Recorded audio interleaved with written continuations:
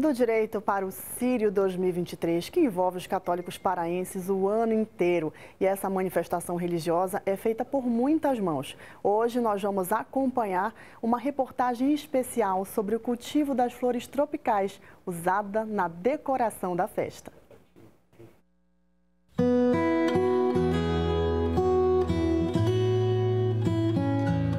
A missão é sublime: decorar os espaços que envolvem a festividade do Círio de Nazaré. E todas as flores tropicais usadas na ornamentação da quadra nazarena saem daqui do município de Benevides, do sítio da Dona Ana Graça. São 10 hectares que produzem 12 espécies variadas de flores.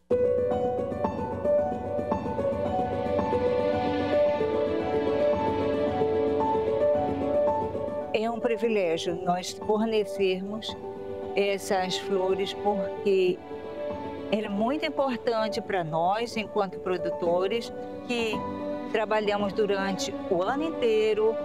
E esse período de setembro, outubro, ficamos integralmente voltados aos trabalhos feitos para as festas do Círio de Nazaré. Há mais de 20 anos ela produz flores tropicais e há oito passou a fornecer essa matéria-prima para as decorações da Virgem de Nazaré.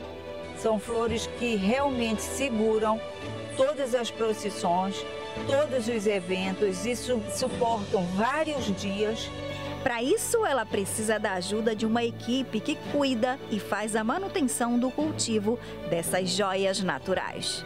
Eu tenho muitas mãos, mãos queridas, que eles fazem com maior dedicação. Cada ano que passa, eu fico mais ansioso de catar essas flores.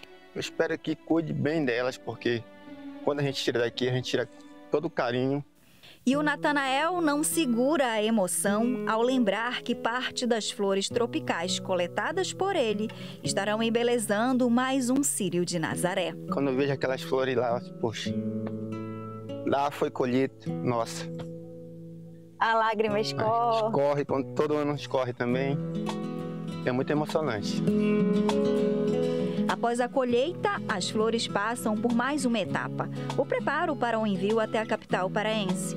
Com delicadeza, elas recebem hidratação para serem transportadas para a ornamentação dos espaços da festividade.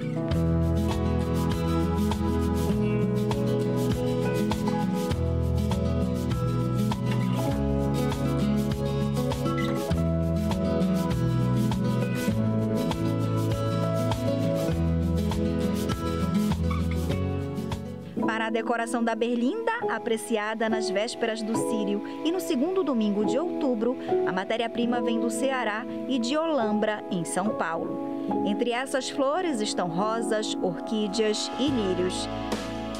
Com um brilho único no olhar, devota de Nossa Senhora e apaixonada pela arte de florir, Dona Ana Graça celebra mais um ano de missão nesse outubro paraense eu me preparo não só para estar na procissão, mas para estar com Maria. Porque essas flores eu cultivo para ela. Nesse momento, eu me sinto com a missão cumprida.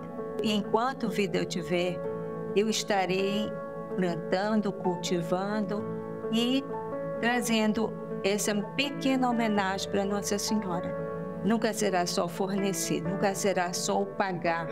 O Sírio representa muito para mim. O Sírio é minha vida, me emociona muito.